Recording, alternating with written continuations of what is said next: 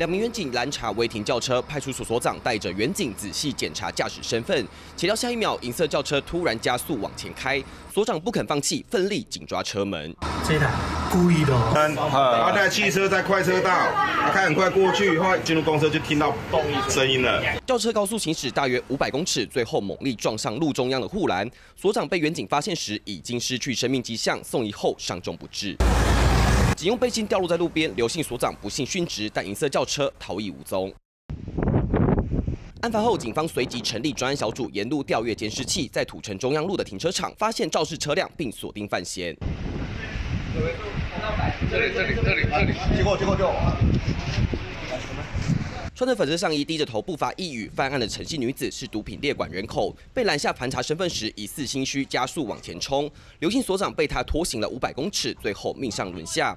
而他犯案后弃车逃逸，躲到友人家中，但还是被警方循线逮捕。本分局清水所刘姓所长于昨日二十三时许巡逻时，见一自小客车违停于金城路二段，遂上前拦查，驾驶陈女出示证件时，遭刘姓所长发现疑似持有毒品。